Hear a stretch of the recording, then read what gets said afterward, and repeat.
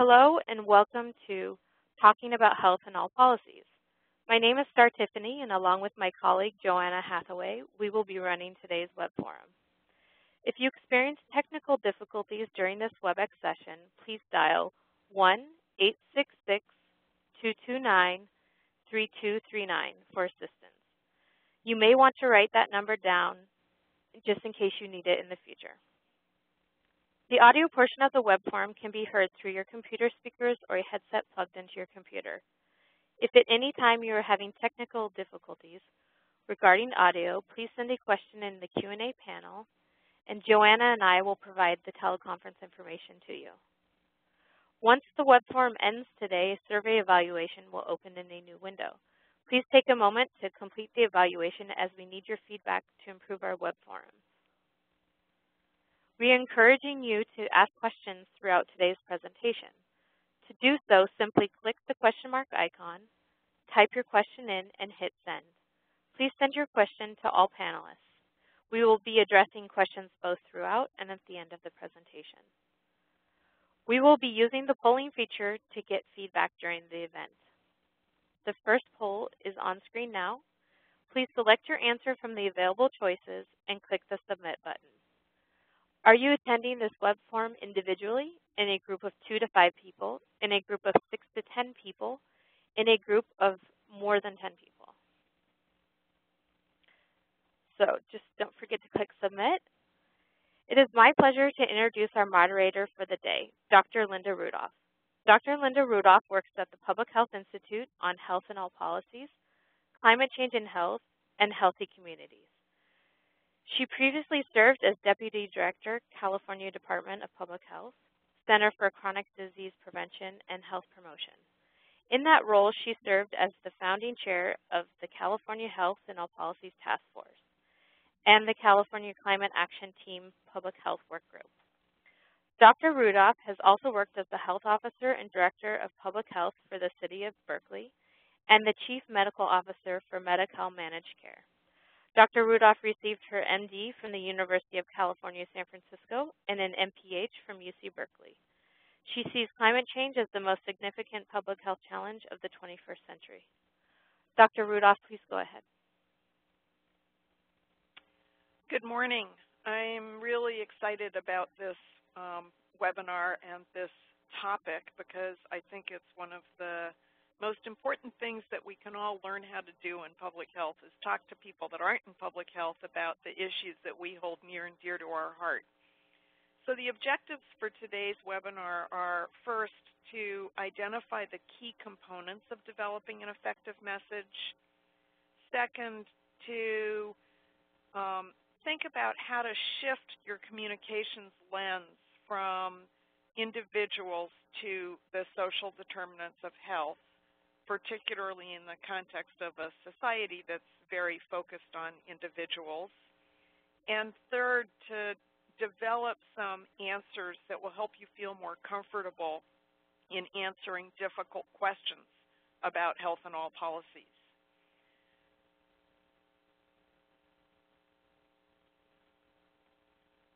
So before we move into our speakers, I want to just do a very, very quick overview of, um, uh, to put this in context. Health in All Policies is a collaborative approach to improving the health of all people by incorporating health considerations into decision-making processes across sectors and policy areas. And it's really born out of the recognition that the social determinants of health, the physical, social, economic, and services environments in which people live, work, learn, play, shop, and pray, have huge impacts on health, and that these social determinants, in fact, have a far greater impact on the health of populations than medical care. And the implications are that public health interventions that address community environments can have much more impact on health than more individually oriented health education, case management, or medical care interventions. We also know that these social determinants of health are the key drivers of significant and persistent health inequities, very large differences in health outcomes and life expectancy among neighborhoods, among racial and ethnic groups, and among people of different incomes. We know that people who live in neighborhoods with high rates of poverty, large numbers of non-white residents, are likely to have far fewer opportunities and resources for health, fewer parks, safe places to play, more fast food and liquor outlets, fewer healthy food choices, more violence, less trees, poorer quality housing, less access to jobs, poor performing schools, and so on. And finally, we know that climate change is the biggest global health threat of the 21st century, that, that it will have very, very significant impacts on health, both direct and indirect, some of which we're starting to see now, but also which will affect um, our children and grandchildren and impact the very life systems on which human life depends our air, our water, our food, our shelter, our security. So, the Department of Public Health, the Public Health Institute, and um, APHA have just published a guide on health in all policies that goes into a lot more detail about some key components of health in all policies, such as um, health equity and sustainability that I just talked about. And I, I hope you'll all take a look at that. But one of the things that we talk about in the guide is the goal of health in all policies, which is really to make sure that decision makers are informed about the health equity and sustainability consequences of policy options during the policy development process. And hopefully, as a result, that the policy outcomes will reflect an understanding of and attention to those consequences. Well, we're not going to make any progress in getting policymakers to consider the health consequences of their decisions unless we learn how to talk about health in all policies and talking about health in all policies really requires talking about um, the social determinants of health, equity, and sustainability and climate change. And those are all what we've come to refer to as wicked problems. And they're, they're very, very hard to break down and talk to in language that people that don't speak our language can understand. So that's the topic of today's webinar, and um, Lori and Ingrid that, that, I'll introduce you to in a moment have also done a great job of summarizing and, and explicating this in the guide. So you'll have a resource you can turn to after the webinar. So we have three presenters today. Um, Lori Dorfman is the director of the Berkeley Media Studies Group in the Public Health Institute. Um, she works with community groups and public professionals so that they can be strong voices for establishing healthier communities. And Dr. Dorfman oversees all aspects of the Berkeley Media Studies Group work, which include research, media advocacy training, and strategic consultation for advocates, and also education for journalists about these important health issues.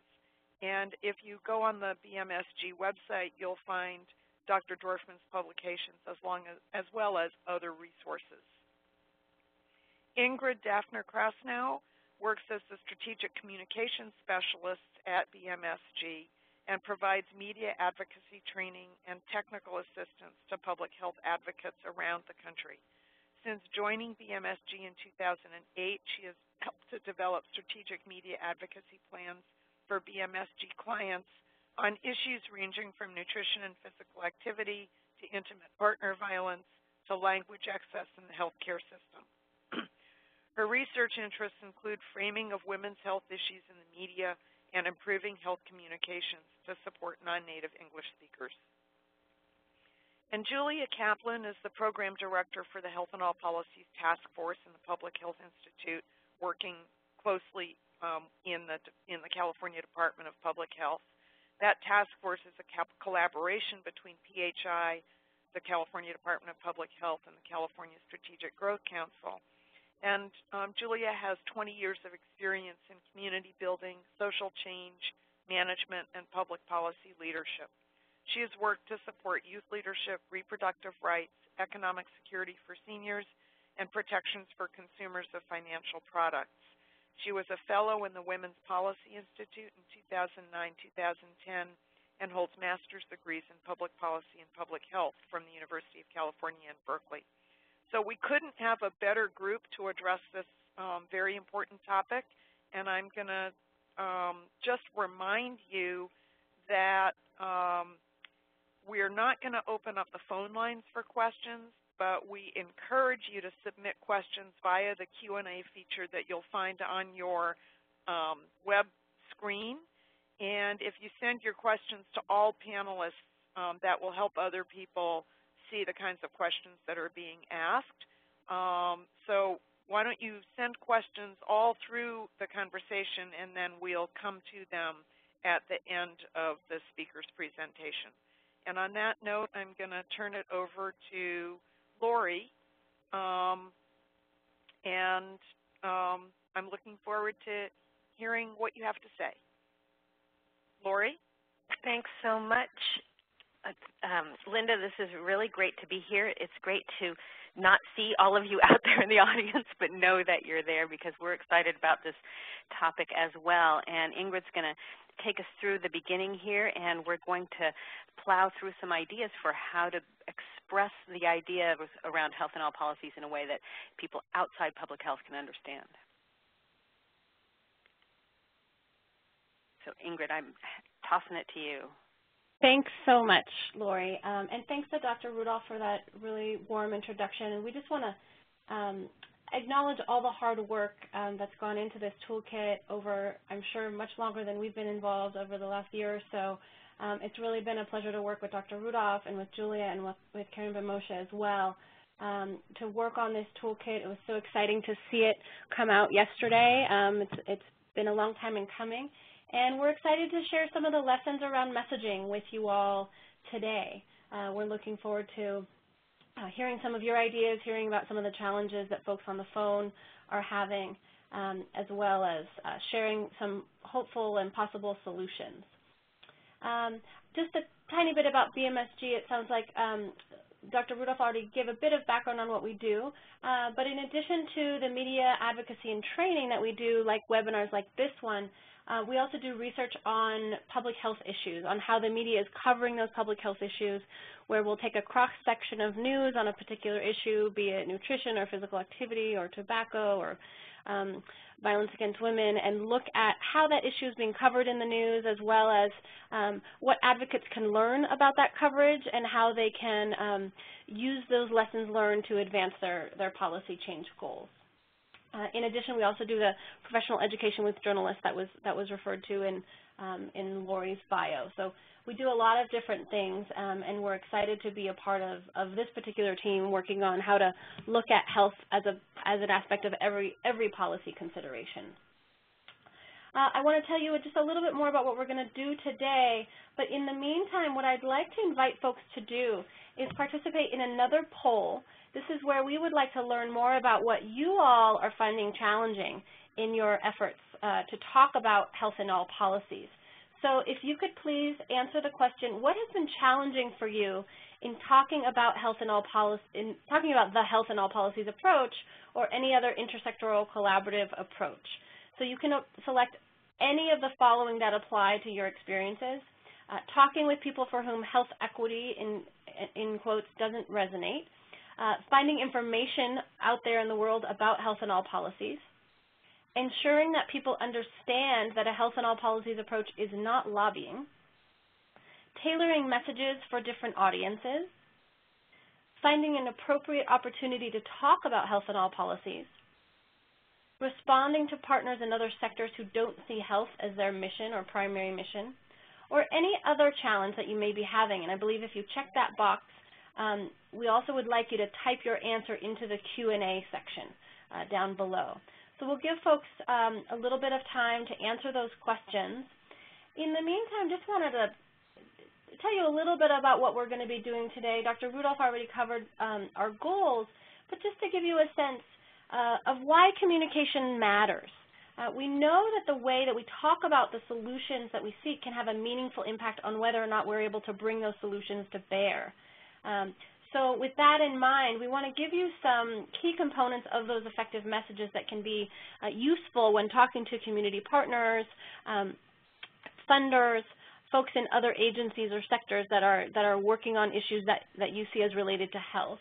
Uh, we also want to talk about how to broaden the frame to include social determinants of health, as Dr. Rudolph was mentioning. And we also are going to give you an opportunity to hear a role play in which we challenge, um, challenge one of our colleagues to answer some hard questions about health in all policies. And so we can learn about what are some of the common pitfalls as well as what are some of the um, methods for success. So it looks like we have our poll results back. Um, and it looks like we're seeing some trends. Um, let me just broaden these answers so that I can see what the answers were. So it looks like the most um, common challenge folks are having at 37% of respondents checking this box that responding to partners in other sectors about why health in all policies matters is one of the most um, common um, challenges that folks are having, folks who are not necessarily seeing health as their primary issue. Following that uh, challenge, talking with people for whom health equity, in, in quotes, doesn't resonate is a close second, again with 32%, so it's about a, a little over a third of, of participants on the phone have that similar challenge. And then, oh, you know what, I missed one in the middle there. Well, a handful of people didn't give any answers. Uh, that's the one that's in the middle. And then the third um, most common answer looks like it's tailoring messages for different audiences, which is a great one to have on this particular call because uh, we are going to be talking about how to address your specific messages for different audiences. So that'll be, um, hopefully you'll get some good clues and insights about how to do that well. Uh, and then we have a sort of a range between, let's say, 5 and 20% or so answering all the other questions. But it looks like at least someone has had had at least one of these challenges uh, in their work to talk about health in all policies. So we understand that there are a lot of challenges around communicating around health in all policies, and hopefully today's webinar will give you some, some insights um, of how to do that. So I'm going to pass uh, the ball, literally and figuratively, uh, along to Lori in, in, talking about why message is not the first consideration. Thanks, Ingrid. The, um, it, we'll address um, some of these questions um, sort of generically as we talk, and then we'll we'll get to them specifically in the Q and A at the end. So um, so listen for that as uh, as you think about your questions here. The interesting sort of uh, paradox of today's webinar is that even though we're going to spend the whole time talking about message and explaining framing and understanding those two things together, it's important to remember that message is never first. That we shouldn't be deriving a message um, and then figuring out a strategy of how we want to change the world. It's in fact the strategy that drives the message. So that means we have to know the answers to these three questions before we can even figure out what we want to say. The first question is, what do you want to change in the world? So writ large, what Health in All Policies is about is changing the way we do business as a society and how our government, how we pool our resources and work together through our government, how we address our problems so that we put health at the top of the list because we care about health, that matters to us. And one of the mechanisms for that is how agencies work together, and that's how Health in All Policies was conceptualized. I might have um, I might be overbroad, Linda. You would talk about how it's conceptualized more precisely, but nonetheless, the thing we want to change in the world is how government does business, how we do business with each other, how community influences that, how business is involved, how all our sectors can work together to produce a healthy society. So we have to know specifically what that change is and then how that happens. That's where we get kind of technical. Does that mean that the people who work on Parks and Rec do something differently than they do now? Does it mean that the transportation department or education or housing or some other sector in our either uh, private or public sectors is there something different about the way they are going to do business? What is that? And that's when we'll get into kind of the nitty gritty. Maybe there are really specific things that are going to change about institutional practices. You're going to find all kinds of detail about that in the handbook that Linda mentioned. You need to know what that is ahead of time. And the other thing you need to know, and we're going to talk about this a lot, is why. Why do you want it to be changed? Now, a lot of us, including myself, came to public health because this was a way to make the world a better place where we could all have better outcomes no matter what zip code we were born in, that if we put health concerns first, it meant we would all be able to prosper, do better in life in all kinds of ways. And that kind of sentiment about what motivates the work that we do together isn't often expressed partly because we're so busy working on the technical side of making that happen that we we don't have time or think about expressing it. And this becomes extremely important for people who are outside the field of public health. They didn't come to public health. They have lots of concerns, as we all do too. But what is going to help people connect to health in all policies is the motivation, the values, the why it matters. And we need to be able to express why we want that to why why we think that policy is important because that's how outsiders will connect with the facts and the structures that we're trying to help them understand and that we want to change. And we know this from framing research. And the frames framing is a big concept that lots of people are talking about now. When we started this work 20 years ago, I can tell you nobody used that term. And it's become quite popular now. People are starting to understand that people come to ideas and they come to stories and they come to policy suggestions not as a blank slate, but already with ideas in their heads. There's a foundation of understanding about how we approach the world that we don't think about. It's an automatic thing that happens. It's like the structure of a house that holds it up. When you put your key in the door, you don't think about the door frame providing the structure that you can walk through or the foundation holding up the house. It just operates in the background. And that's how frames work in our brains. And Ingrid, in a minute, is going to show you an example of how this works. The idea is that we are um, we're brought up in a culture that has certain ideas circulating. Some ideas circulate more often than others. And there are very dominant and prominent ideas about how the world works and about what's proper and right and about um, who's responsible for change that are operating in the background in our minds, and those ideas sometimes come into conflict with a public health approach. What that means is we have to queue up other sorts of ideas so that people can see why a broad range of ideas are necessary and why our policies make sense. Now, I know that was really abstract. Frames are abstract. They're about how we think and about how people extract knowledge and meaning from text, whether that's written or verbal or pictures like all those pictures Linda showed you at the beginning of the webinar, those were transmitting ideas about climate change, for example, that you extracted based on other ideas you had in your head. She didn't have to explain each one of those individually. Ingrid's going to show you, a, just to give you a little taste of how this works and what the dilemma is in framing. And then we're going to walk you through a formula that um, isn't an absolute formula, but it's a way to start to analyze the way we're talking about health in all policies so we can get better at helping people see the whole picture. Thanks so much, Lori. Uh, so what I'd like to ask folks to do now is using the chat function in your uh, interface. Well, I think if it's Q&A they're supposed to use. I'm sorry, Q&A. I was I was um, so focused on getting it right, and I still didn't get it right.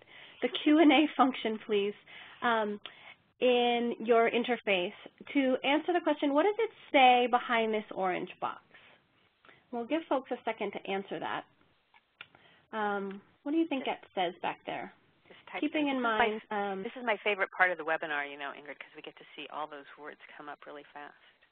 Yes, it's like it's all going up. So so everyone who I'm seeing running across my screen um, says prevention works. One person put an exclamation point, and I'm going to assume that was a creative license. Um, so most people are saying that they feel it said prevention works, and sorry if that was a spoiler um, for folks, those of you who hadn't answered yet. Uh, but let's see what it says when we take that orange box away. Aha, it does not actually say prevention works. So let's just do that again just for fun. Um, the orange box is there. As many times as I've done this over the years, I still see prevention works. Um, but in fact, we know now that we've taken that orange box away that it doesn't, it doesn't in fact say that. So what happened here?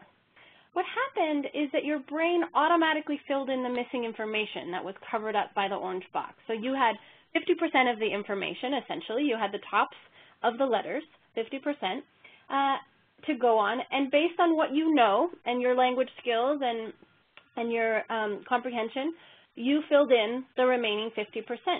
Uh, without having all the information available to you. And then when you had that information available, when we took the orange box away, you saw that in fact that was not the case. Well, this is what happens all the time when we're looking for solutions to health problems in the community and when we're thinking about how to frame the way we talk about presenting those health solutions. We often make judgments based on only a limited amount of information uh, without taking into consideration the whole picture. Um, and this is why we oftentimes, if you've heard us talk before, um, this is why we oftentimes talk about health um, and framing for health specifically as a portrait versus a landscape perspective. So if you think about a portrait of, of a person, you know that you only have a limited amount of information, very similar to this orange box exercise. We only had 50% of the information. In a portrait, you also only have a limited amount of information. You have a lot of detail about a face and maybe the you know upper body, but you don't have the whole picture. Essentially, you don't have the context in which that person in the photo uh, is living. You don't have their surroundings, you don't have their family history, you don't have their job establishment, you don't have where they live or where their kids go to school or how much money they make or any of those issues. If there's parks in their neighborhood, if there's healthy places for them to, if there's places for them to buy healthy food, you don't have any of that information. And what, so what happens is that unprompted, most people still hold individuals accountable for their own health outcomes. When you think about it from a portrait perspective and you think about why we have some health, these health challenges that we're seeing in the world, we don't think about necessarily the surroundings in which someone li is living, the context of their lives. Um, especially when those outcomes can, can be related to what are sometimes considered quote-unquote lifestyle choices, such as smoking or eating or physical or, you know, um, tendency toward physical activity. And while it's true that the decisions that we make as individuals, of course, affect our health, it's also very true that our surroundings matter a lot and that individual, individual decisions, excuse me, are always made in the context of social and physical environments that can affect nearly every single one of our decisions. So in order to make the case for health in all policies most effectively, it's important to, to provide an alternative to what we would call a default frame. The default frame here being that individuals are solely responsible for their health. Lori talked about frames as mental structures and how we categorize information. And we learned from this exercise that we make certain assumptions based on a limited amount of information. And what comes out of that is what we call the default frame, which is without enough information, without all the information, our minds intuitively go toward holding individuals accountable for their health. It's part of our culture. It's part of the way that our, our the, the messages that we get from media and from our government and from our history, um, but it's not necessarily accurate in terms of the possible solutions to health problems. And so what we need to do is we need to shift that balance from institutional accountability, I'm sorry, from personal responsibility to institutional accountability. So in a landscape frame, if we're going back to that metaphor, we can use a wider angle and we can see the surroundings around that person in the photo. And it's these surroundings, as we know, that often make the biggest difference when it comes to identifying solutions to our most common health problems. So health in all policies is essentially a way to widen that frame from the portrait to the landscape. Um, you all on the phone know better than, than anyone that Health in All Policies, among the many other titles that it's been given across the world, how to talk about these intersectoral collaborations around health, um, that these are just labels for a larger concept rooted in the fact that environment, the environments in which people live, their surroundings where they live, learn, work, and play, um, shape folks' health outcomes. And this is the motivating rationale behind health in all policies, that if environments matter for health, then our society and, and the agencies, essentially government agencies that serve it, should consider health outcomes in the decisions that shape these environments. Uh, and I know that I'm I'm preaching to the choir here with folks on the phone working working through some of these really difficult communications challenges to talk about why this matters so much. So I'm going to hand the ball back to Lori, who's going to lead us in a discussion of um, what are some of the key concepts, key I should say key components of strong messages so that when we're talking about health in all policies, we can be as effective as possible in widening uh, widening our frame from portrait to landscape. And um, Ingrid, go back to the scale just one quick second while I, um, I just want to add one thing to what you said. I want to remind people that this is not an either or conversation. Personal responsibility is enormously important. We need lots of it, and when people hear certain things about their health, sometimes they take personal actions that make their health better, and that's a good thing. Um, but we know also that individual actions don't go far enough and that people can't act well for their health if they're in an environment that restricts that. And so that's why, as public health folks, we're helping people see that landscape, see that it's not uh, portrait or landscape, it's that we want the portrait embedded in the landscape. And it's that the scale is out of balance because our default frame in our society goes right to the individual. If we just say health, and we say nothing else, people will go to, to ideas about what people can do for themselves. So that means it's up to us to help cue up what's in that landscape, what's in that environment that it either can foster health or impinge on health, and to bring that scale into balance. Because I know uh, it, it's easy to dichotomize these things and think that it's either or, but it's not either or. It's really both but we're in a situation in our society where it's out of balance. So now let's show them the equation, um, Ingrid. And so here's, here's what we're trying to, to do when we construct a message about health in all policies. We want to be sure it has certain components, as Ingrid said. One is an environmental cue. And this is important because if we don't help people see the landscape around the portrait, they'll go right to the individual, and there's plenty to think about with the individual. So it's up to us to cue up that environment. And it's important um, to cue it up first. So of all the things that we're going to say about message, order doesn't really matter except for the environmental cue. Because if, if we don't have that, then the rest of it won't make sense. Um, so we'll talk about the environmental cue and, and what that looks like. The other thing we want to be sure we have in our message is a solution. What can we do about this thing that we think is a problem? In public health, we have a tendency to spend about 80% of the time talking about the problem and 20% of the time talking about the solution. We need to reverse that ratio if we want journalists to do it, if we want our colleagues to understand, and if we want people outside public health to understand that there's actually something we can do about this. So that's our job. That's imperative on us to include a solution. And then the last part that we want to highlight is the thing that I mentioned early on. It's the answer to the question, so what? Why does this matter? And that's a larger question that goes to why we care about health and what difference we think it makes in the world. It's a question outside the data. The data inform that question, but it's really about why we care about this. And, and when we put these three things together, then we can get a message that supports health in all policies.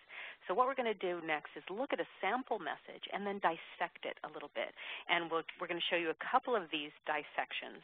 And then we're going to um, try a, a verbal version of this. We're going to put Julia on the spot. And then we will have our Q&A and open it up for discussion. So here's a sample message it can be something like this. Somebody might ask you, well, what, why is um, why is health in all policies important? You might say, well, families are healthier when they have safe, well-maintained sidewalks that make it easier to walk to school and work. We need to fix uneven and cracked sidewalks or blocks with no sidewalks at all in the Lincoln neighborhood so that parents feel it's safe for their kids to walk to school. To do that, the Transportation Agency and the Public Health Agency must work together to support each other's goals and create safe routes to schools for all our children. Now, we're going to we're going to dissect this a little bit, and you can see it's not a generic message about health in all policies. It's a specific message because each time we talk about this, generally speaking, we're talking to someone specific, and we can't talk about everything if it, that's way too vague. We're going to always have to land it on some particular thing. And that's up to us to choose depending on our audience, depending on the policy at hand, depending on the project that's due first. There can be all kinds of reasons to pick a particular aspect of health in all policies to talk about. So each of the messages will be specific in that way. And that goes back to an earlier thing I said, which is that you have to know what you want to change in the world and how you're going to change it in a specific way. So let's dissect this. Let's look at the environmental cue. Well, that came right up front. Families are healthier when they have safe, well-maintained sidewalks that make it easier to walk to school and work. Now, there's lots of things that will make families healthier. So, and and once again, as public health people, we'd like to say what all those things are all at once, but we can't ever do that. We always have to choose. There's not enough time. It's not going to be appropriate to say everything in every context. In this example, we're using the particulars of neighborhood safety, and that environmental cue forces you to have a picture that embeds a family in a context. In this case, it's the context about the built environment. The next piece of the message is the solution right up front. We need to fix the uneven and cracked sidewalks, that's the little problem statement, or blocks with no sidewalks at all in the Lincoln neighborhood so parents feel like it's safe for their kids to walk to school. You can see this is kind of problem and solution all married up together. Um, we have to fix the uneven and cracked sidewalks. Well, the uneven and cracked sidewalks are the problem. Fixing it's the solution. We're going to get to kind of how in a second as part of the value statement there. And uh, in the solution, we also talk about the Lincoln neighborhood. You know, we just made that up. But you want to be specific. The people you're talking to are in a place. Use that place. Don't be generic. Be as specific as you can in language what the framers talk about who study this kind of thing. They talk about it being the difference between um, furniture and chair. Never say furniture if you can say chair. Don't say community when you can name the neighborhood or you can name the region or depending on your audience, the specific that brings a picture to mind. And then it gets wrapped up with the value. To do that, to actually fix the uneven and cracked sidewalks, the transportation agency and the public health agency have to work together to support each other's goals and create safe routes to schools for all of our children. So here in the value statement, that's a, a, value of collaboration that we're talking about there and working together and safety. And you can have different values that come to the fore. And, you know, people often ask us, you know, well, how do I choose values that resonate with my audience? And you guys know your audience. You know who you're talking to, but you also know yourselves. And if you don't have a mechanism for polling or deep public opinion research about what your audience is going to respond to, start with yourself. Why do you care about this? Why do you think it'll make a difference? What's the value that you hold? Just be sure that's included because it's at the values level that people are going to connect. So Ingrid's going to take you through another example uh, or two, and then we can talk about this more broadly. Thanks, Lori. So we're going to look at a couple different examples now uh, with the values called out more explicitly. In the, in the example that Lori gave us, it was a little bit more generic on the value of health in all policies.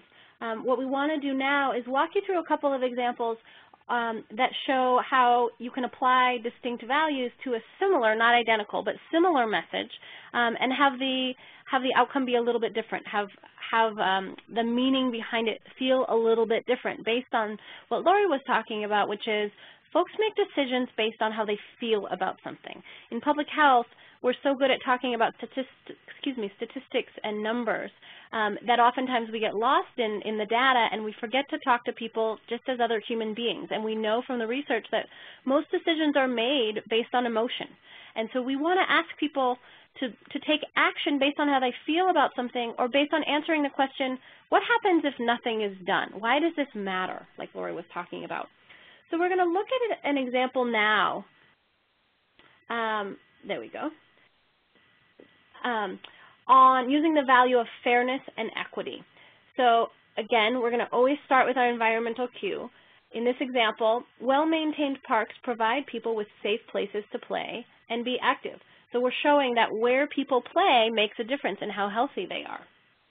And we want to make sure that those parks are in good repair. We don't want our kids playing on broken down playground equipment and potentially risking injury. Then we're going to insert our value. So this, again, the value is going to be fairness and equity. It's not right that children in some neighborhoods have plenty of nice parks and playgrounds nearby and others have none. So this idea that we want to make sure that kids in all neighborhoods have safe places to play, not just um, in neighborhoods that can afford, can afford those parks. So we've cued the environment to begin with. We've stated our value, and I think you would probably find that everyone feels like, yes, children in all neighborhoods should have safe places to play. You're probably not going to find um, too many people who question that premise. Now, how you solve the problem um, may differ from person to person, and so that's where you want to insert your solution. So the sample solution that we have here is, that's why we're working, we meaning the, probably the Public Health Department in this example, that's why we are working with the Parks and Recreation Agency to make sure there are sufficient funds to build new parks so that all children in our community have the opportunity for safe play and physical activity. So it's showing this collaboration as a means to achieving um, equity and fairness across communities to make sure that everyone has a safe place to play. So this is just one example about, of how to apply those specific values uh, to a message. Let's look at another one, the idea of efficiency and cost savings. And we know that when we talk about health in all policies, this is oftentimes a strong value that resonates across sectors and across um, government agencies. And so we want to show why this matters. So our environmental cue, again, families are healthier when they have safe sidewalks but the sidewalks in the Elmwood neighborhood are uneven or cracked or not there at all. So showing why where people live, work, and play um, affects their health.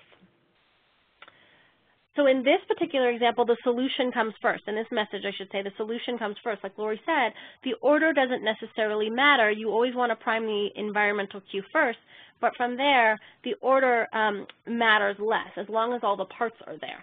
The solution in this example being we can't fix this problem working in isolation. We'd like to work with you, partner agency, to incorporate health criteria into this year's transportation priority. So this is um, for working with a transportation agency, whether it's local or state or national.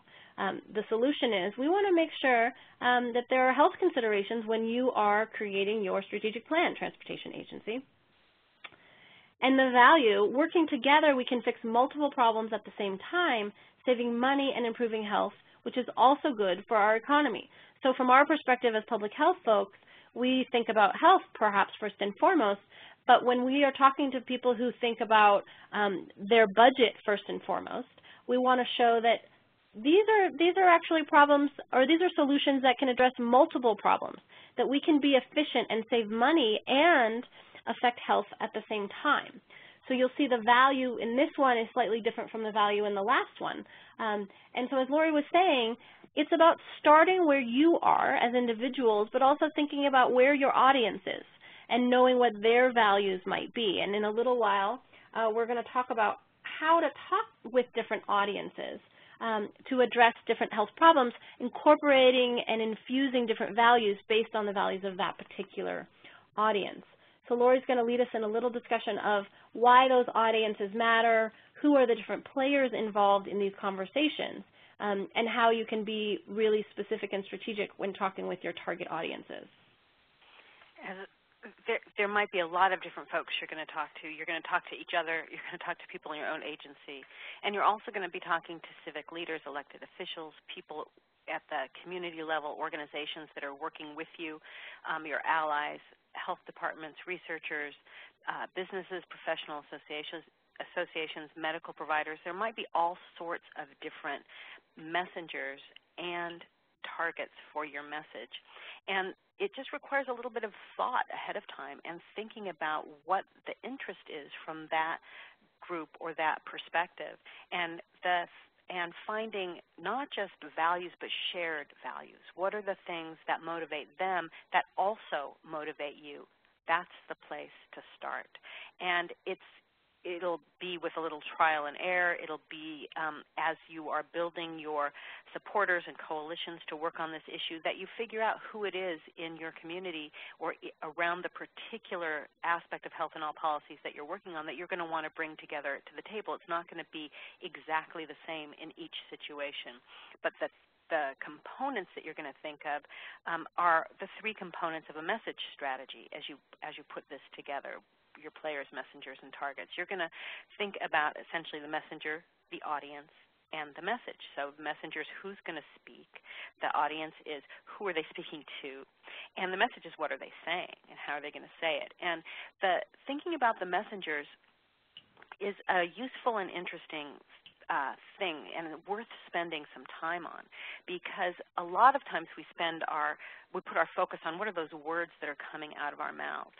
But if you think about whose mouth are the words coming out of, that can be very um, interesting in and of itself because if you have somebody who in they would call it in politics an unusual bedfellow who would be an advocate for health in all policies, it's going to make people listen in a slightly different way. My favorite example of this doesn't come from health in all policies, but it comes from a, a good related field, which is early care and education, which we know has health implications. We know people um, do much better in life if they have quality early care and education. And there was uh, a time when a guy named Art Rolnick was head of the Federal Reserve Bank in the state of Minnesota, and he was working, uh, he was examining the issue of early care and education because as the chair of the Federal Reserve in Minnesota, it was his job as a steward of the state's finances and resources to make recommendations to lawmakers about what the best use of their uh, finance of their resources were, of their money. Where should they invest? And so his job didn't answer the question about health, but it answered the question about how can we best use our resources to benefit the state of Minnesota. And the question before him was whether um, they should invest in early care and education or whether they should invest, say, in a new stadium for the football team, the Vikings. And he looked at the numbers. That's his job. He did the math. And when he found out what the difference was, that in fact it wasn't a wise use of the state's resources to invest in a stadium. And much as it, people claim, you know, it increases jobs and whatnot. After he did the math, what he found, as many researchers um, have found with early care and education, is that it was a seven to one return. For every dollar the state invested, they could expect seven back. And if they invested in early care and education, so that's what he told the state. That's what he told the lawmakers. And it was a very different message coming from the chair of the Federal Reserve in Minnesota advocating for high quality early care and education than it was from a preschool teacher who advocated for it all the time. So think about the messengers. Think about who's delivering the message.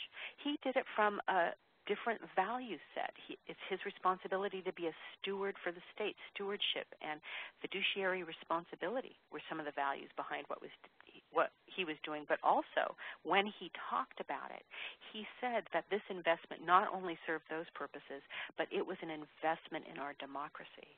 He took that value up to the highest level. This is about the society that we want to create together where every family can thrive. And that's a way to introduce an equity message. That's a way to introduce the kinds of values messages that take us to our highest calling. And it's at that level that we are going to find some of the shared values across the different agencies that we that we work on this issue together with transportation, housing. It's it crosses the boundaries. So messenger becomes very important, and as well as you know the message. And so we're going to move now to um, trying this out. So um, so Julia, um, I'm going to call on you, and um, I'm going to ask you a question. And hi there. hi. It's no secret what that question is. Okay, you can hear me well. I can. I can. Okay.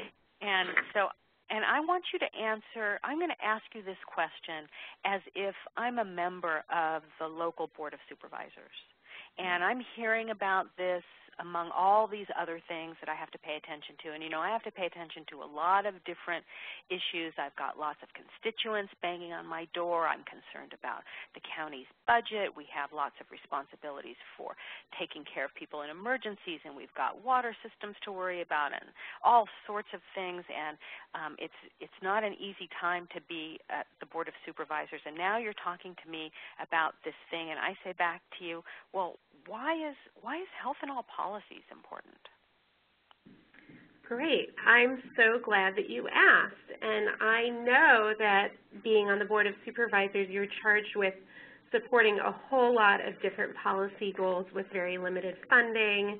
You're worried about economic development and jobs, access to parks, community safety, local agriculture, transportation, and it turns out that all of these policy areas impact our ability to live healthy lives, whether we have safe places for physical activity, whether we have access to healthy foods, whether we have access to jobs. And in addition, as I'm sure you know from your work, no one agency can solve any of these, these issues completely. These are complex issues that are very closely interrelated. So health in all policies is a way to collaborate across agencies so that together we can pursue all of these goals. We can figure out ways to be more efficient, and we can also help people in our communities be healthier and happier along the way. It's already been embraced by our state government, and I think our county could really benefit by trying out this health in all policies approach. Julia, I think that might make sense, but I think if I go over to um, transportation or housing, aren't they just going to tell me that uh, you know health should stay in its own little sandbox? Are you trying to make these other agencies do your work? Well, I think that people within those departments probably do recognize that their work really does intersect with each other's work. And I know for a lot of, trans our transportation department is prioritizing this Complete Streets initiative, which is all about making it easier for people to be able to walk and bike and take public transit. So I think it might be really exciting for them to have information about how they're actually promoting health. And if we can help them build that understanding, it may actually help them achieve their goals too. I, I know you you have told me in the past that you think this is going to make government more efficient, but it also sounds to me like it's one more meeting to attend. How can you guarantee for me that this is really going to make the difference that you say? I think the, a really important thing about health in all policies is that this is not about creating new projects for the sake of new projects. This is about looking at the goals that we already have as a county, looking at the goals that each of our departments already have, and figuring out how, by working together, we can achieve those goals better, faster, in more depth. So it's really about enhancing the things that we're already working on. Well, Julia, you almost have me convinced. I think the next time we meet, maybe you could bring a colleague from another department, and then we can think together about how to talk to the other members of the Board of Supervisors. I would love to. Well done, Julia. Thank you. um, Ingrid, did you have any thoughts about that uh, little exchange? Yes, so um, I thought you did a great job, Julie, and obviously you've thought a lot about this. Um, so you were one of a perfect person to ask uh, to do this role play with us, so thank you. Um, there were a couple things, I, I, think you did a lot of things really well in terms of naming what the benefits would be um, to your audience. Um, one of the things that stood out to me, though, that was perhaps um, you might not want to do next for the next time is you use what we would call an elephant trigger, and I feel like I heard it. I heard it at least a couple of times. And we call an we, elephant trigger um, was a term we borrowed from some colleagues um, up at Portland State University, as well as it's been informed by uh, George Lakoff's research. And the idea is when you call out something that you don't want your audience to think about or you, or you are trying to distinguish what you are trying to do from what you are not trying to do, automatically what's left in your audience's mind is that thing that you're not trying to do. Um, so it's from George Lakoff's research of don't think of an elephant. When you ask people not to think of an elephant, it's pretty hard to get them to think about anything else. And where I heard you do that, that I would advise to try to avoid in the future, was was early on um, where you said, I know you're worried about jobs and you're worried about X and you're worried about Y, and while you may have the solutions to some of those challenges, the way that you framed it as something that your audience was worried about, for me, made me more worried. Oh yeah, you are, right. I'm worried about all those things, and I don't think that I'm going to find a solution in talking to you. So that was one place. Another place was just right here at the end where you said, this is not about creating new projects just for the sake of new projects. Um, wherein in my mind, I hadn't really been thinking about that, and then I said, oh, well, yeah, maybe this is just an extra thing that I don't really need to be doing. Um, so I would encourage you just to focus on the positive of what you are trying to do rather than what you're not trying to do. Great. So, um, so we could um, do this again, but I, Linda, I want to ask you. I, I know that people have been um, submitting questions. Do we want to just go um, next to our our Q and A, um, or do, would we? Would you like us to do one more role play here with Julia? Um, I think we have time for you to do one quick role play, okay. and then I think you can just sort of um, finish up with your final comments, and then we'll move into the Q and A. And very good. Okay, thanks. So, so Julia, I'm going to ask you now this question. Now I want you to imagine um, that I'm a school district superintendent. And you've come to me again because you want to engage me in this um, health in all policies idea. And so we've had a little conversation. Maybe we're standing at a reception somewhere. It's kind of casual. And and you're starting to tell me about this because you want to enlist me in some way or another. And my response to you, um, you know, with my beverage in my hand is that, Julia, I, I've actually I've heard of this this idea, and it, it sort of makes sense. But you know, I have to tell you that these days the schools are strapped and everybody is kind of looking to the schools to do and be everything and really given the circumstances that the families are in, that the kids are in, it is all we can do to be sure these kids are getting the education that they need. So I'm even though I can understand that this might be important, I'm a little bit reluctant to embrace it because I just don't think I could pile another thing on my principals and teachers. Right. Well, I completely understand that, and I want you to know that I, coming from a health perspective, and I work at the health department, I'm really committed to your goals. I'm really committed to educational attainment, to higher graduation rates, because I know that these are factors that have a huge contribution to health outcomes, not just for young people, but for people throughout their entire lives. So I'm working with my colleagues to figure out how we can better support educational attainment and support your goals. And we also know that kids are up against a lot when they go to school. They're facing challenges around violence, around nutrition, around housing, around transportation, and all of these factors impact education uh, and in turn impact health. So what I'm doing through Health in All Policies is exploring ways that we can work together, schools, public health, parks, police, transit planners, to think about how to support these broad goals and figure out if there's some things that we can do through a partnership that are going to actually make these things easier for you to achieve. So I'm hoping that we can have, you know, do some follow-up and think about how we might be able to partner. Well, I, I'm always looking for things that make uh, my life and the lives of my principals and teachers easier.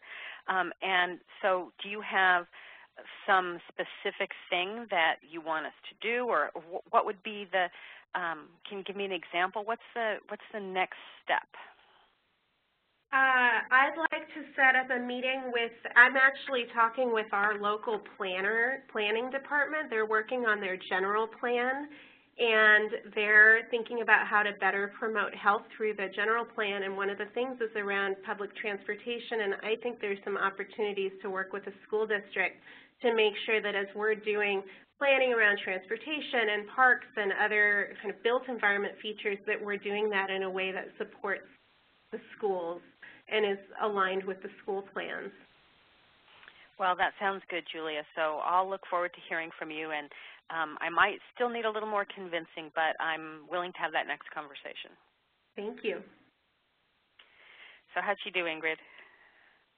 Um, I, I thought you did a great job, Julia, and I think um, my uh, feedback was going to be, I think, where Lori's um, role play led you, which is to a more specific ask. Uh, and maybe you, in this in this role play or in general, wouldn't have a specific solution in mind, but the next step might be a meeting. Um, and so I would encourage you to, when you're talking about this, um, know what you want to come out of your conversation. So it's not just, let's think about how we can collaborate, because then people nod and smile and say, oh yeah, great idea, and then you don't talk to them for six months. But it could be, let's think about how we can collaborate. Are you free in the next two weeks for an hour meeting? Um, and so that you can really pin them down on something um, concrete. Or if you have a solution in mind, mentioning that solution so that they walk away with something specific.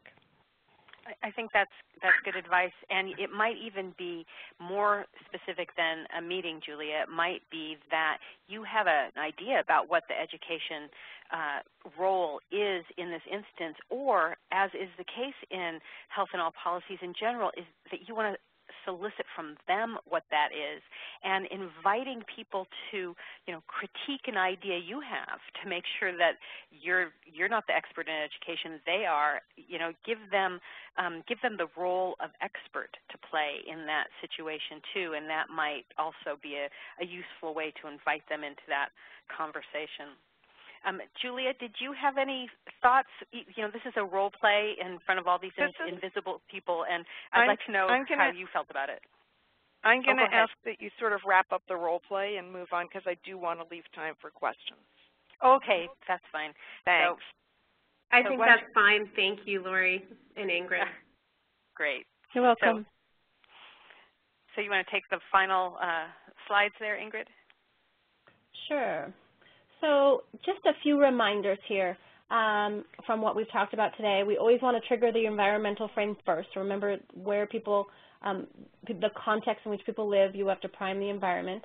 Talking about values um, very early on, well, incorporating values. I, like we said, the, the order doesn't matter so much as environment.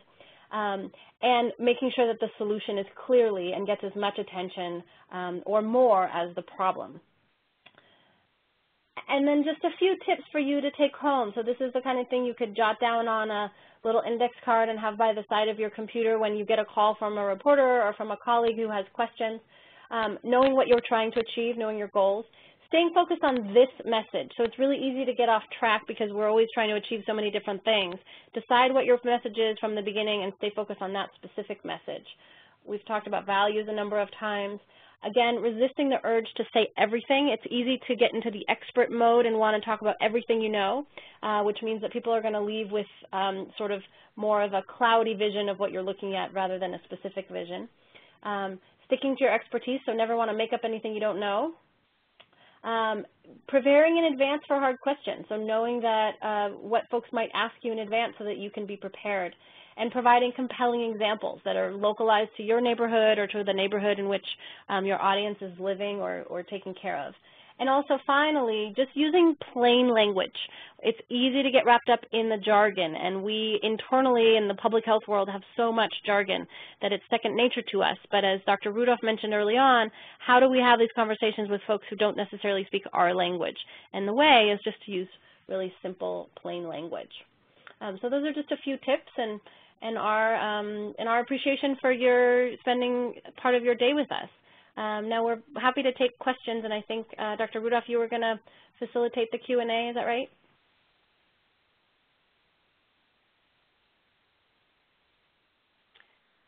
I, I, I yes, thank so. you so much, Lori, Ingrid, and Julia. And we're going to um, take questions now.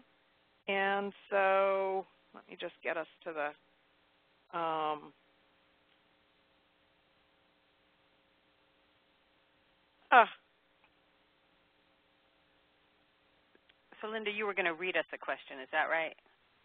Yeah. Well, so I want to I want to just remind people about using the Q&A feature. And while while while people are turning in questions, Um, and while we get started on that, I just also want to put up one last poll.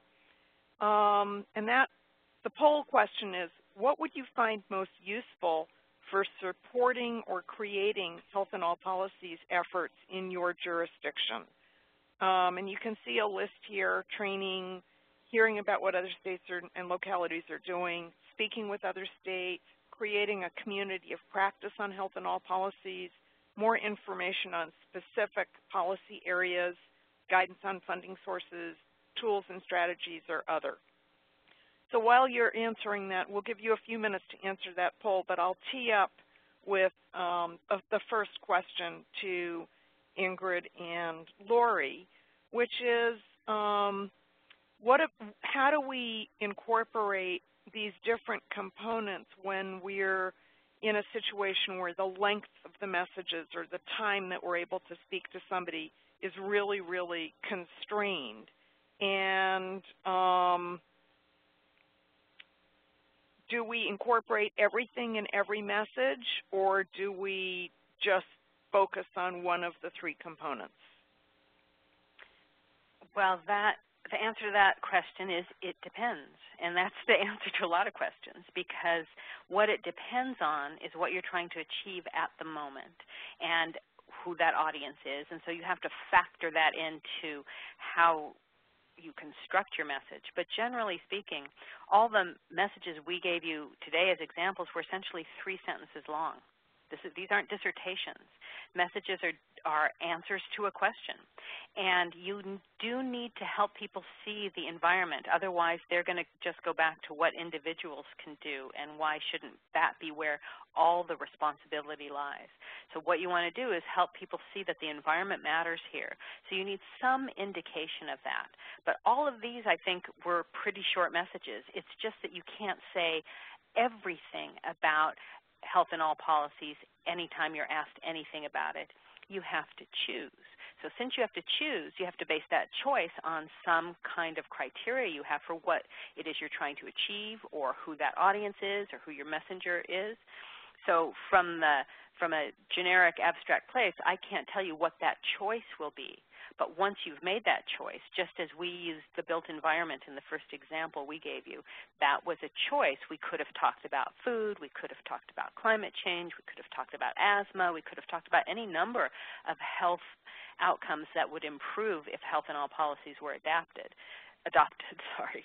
So if you choose that, that's your first step in narrowing, and then just be sure whatever the context is, the environmental context around that is included up front and that you say why it matters. Great. So um, a couple of people have asked questions about um, how how does how do you think about the framing if you're working with people from other cultures or who speak other language. And I think that's really uh, more generically some questions about how do you know what the value frame of your audience is so that you can tailor your message accordingly? Well, you ask them.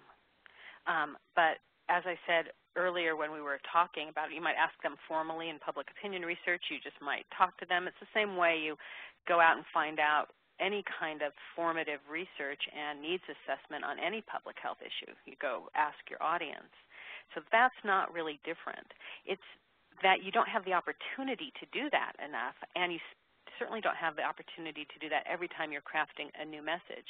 And that's why I say it's at least, at minimum, know why it matters to you. Know why it matters to your agency. How does it relate to the mission of what we're doing collectively in public health? How does it relate to the mission of the agency you're trying to attract? There's plenty of values there that are shared that just need to be invoked. The whole message doesn't have to be about the values. You just have to give people a way in, a way to connect at a human level about why this is important. Okay. Thank you. So um, there's also a couple of questions that I think I'm going to um, ask um, both both um, Lori and Julia to take a crack at, and that is um, in, in some localities, um, people are more resistant than in others to the to concept of health in all policies, um, and they sort of react negatively to the term and the concept because it feels to them like, you know, why are you doing this? And health should just stay in their own track. And this is, quote, health imperialism. How do you start the conversation in that kind of a setting? Julia, why don't you take the first crack at that because I know that's been, you've had to deal with that. Sure. I and this is something that I'm continually asking other people for their thoughts about. So I think this is we're kind of figuring this out as we go along. I think that the most important thing about health in all policies is the values that we embrace. And the actual term health in all policies is not the, the important part of this work. So I have no problem with people calling this other things in other communities and figuring out language that reflects the values of that community. I think that in some places we're going to talk a lot more about efficiency and reducing redundancies. Um, you know, I think that we're going to figure out messages that are different for different places. But I think ultimately, um, you know, this, and I think that a lot of this is about shifting that frame that you talked about earlier, the individual frame to the environmental frame, and that's going to be more of a challenge in places that embrace the individual frame more deeply. Yeah, I think it's a challenge across the board in public health. It's what we're always up against on every issue. And it takes time and persistence and also examples.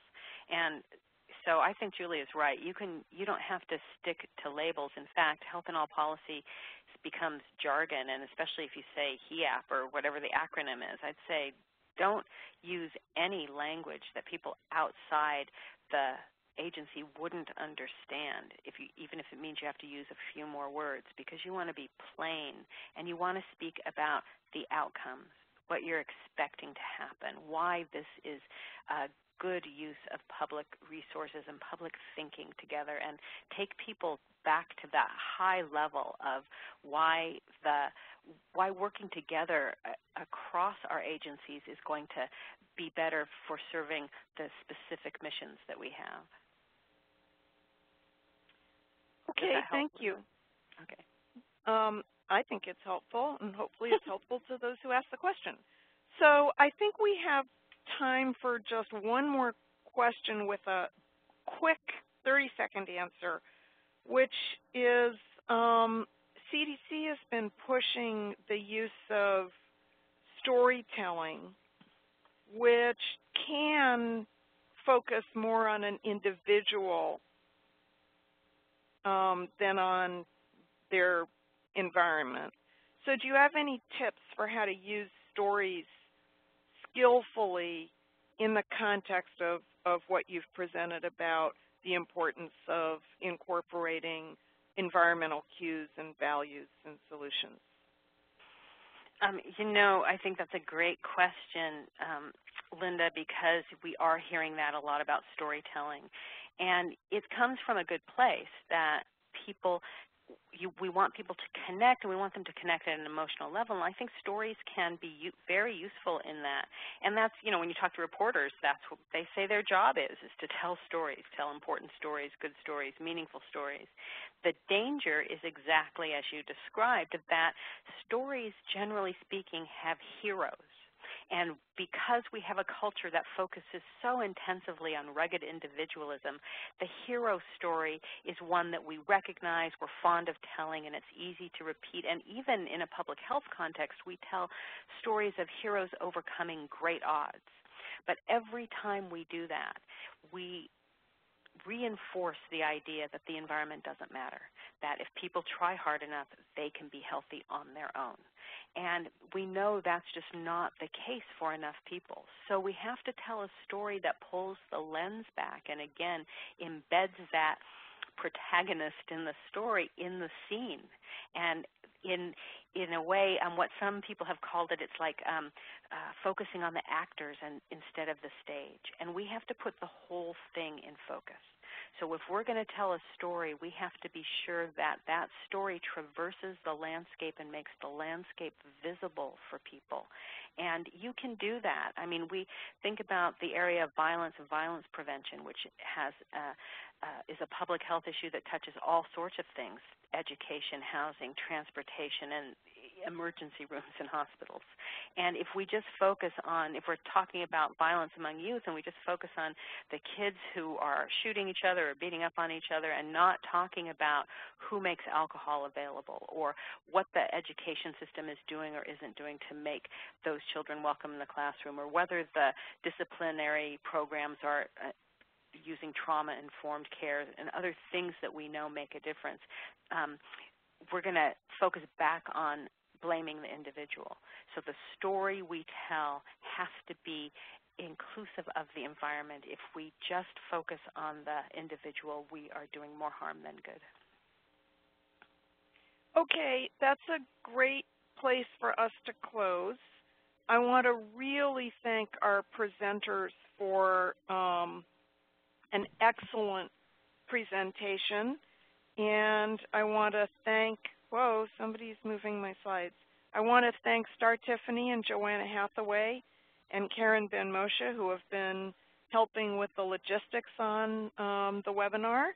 And um, I want to remind all of you about this resource. Many of the questions that we got were actually about um, large, uh, other concepts that are really important in health in all policies um, and not so much on the messaging specifically. So I want to encourage you to look at this new um, resource, uh, the Health in All Policies, a guide for state and local governments. And I want to thank all of you for participating very much in the webinar, and I hope you'll tune in um, for future Dialogue for Health webinars and remind you that the recording and slides will be available at the Dialogue4Health website. So with that, thank you all very much, and um, we hope you all are successful as you proceed with your um, health in all policies work. Thank you.